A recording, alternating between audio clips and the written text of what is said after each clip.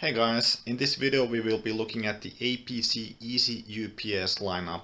This is the 1000 VA model. Unfortunately for me this was a huge disappointment because I thought that all APC UPS devices have a USB cable so that I can plug it in to my NAS and have it safely power off during a power outage within the uh, runtime of the UPS device. However, none of the Easy UPS lineup devices have that feature so you can't use it for that purpose. I will leave a link uh, above and down below to my next uh, unboxing video with the APC backup series lineup which I will use for my NAS device. For those of you who are buying the UPS for a different use case like uh, powering up other devices which don't need or benefit from that feature like uh, routers and network gear, let's jump into the unboxing. In this video we will be having a look at the APC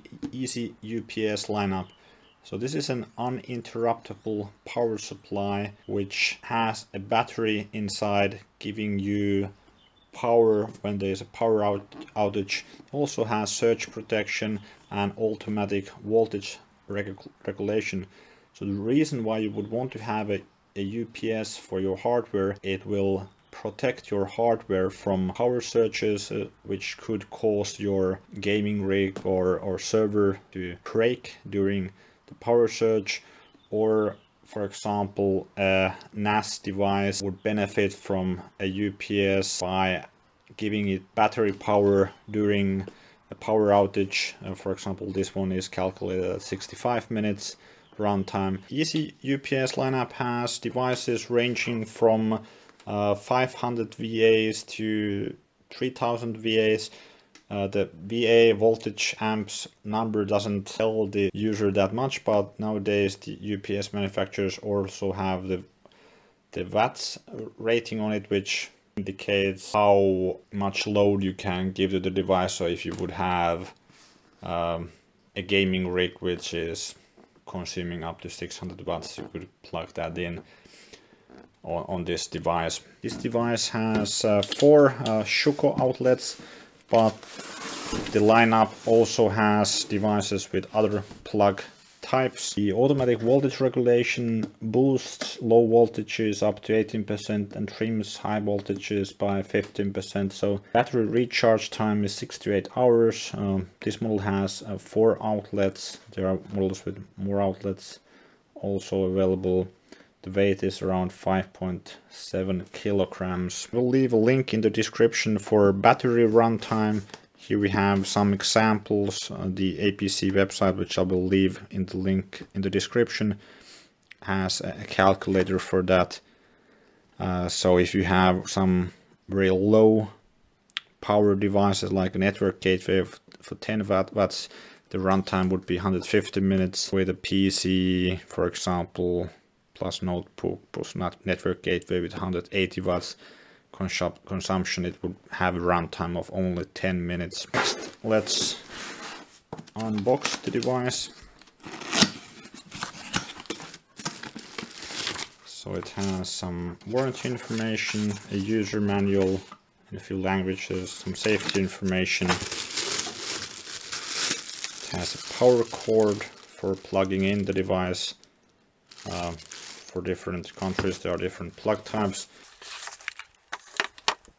In the manual we can see that this uh, BV1000i model has a 12 volt 9 amp hour lead acid battery in it. Dimensions of the unit so kind of comparing it to my hand you can see it like a large extension cord and yeah, all the, the height is, is also quite significant. The recharge time for the battery is 6 to 8 hours. And here we have some instructions for turning the device on. And uh, here we can see the different plug types which this device, of which the different variations of, of this, this device has. So I have the Schuko model and there's a, a circuit breaker on the side of the device for this Schuko model. Let's plug this in device in to power next. Uh, as preparation, the instructions say that you need to plug this battery connector in. So you let's pull it out and then push it in here. Now the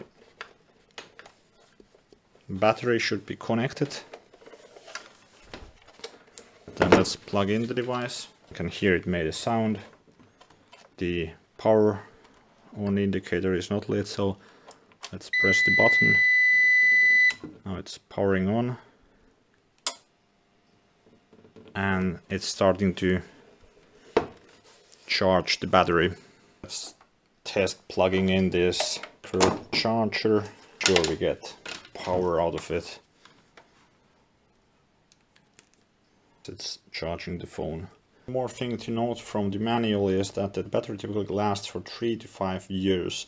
So you will need to replace the device uh, from time to time. This video was helpful for you. Please uh, give it a thumbs up if it was and also consider subscribing for my future tech related content. Hope to see you in the next one. Bye.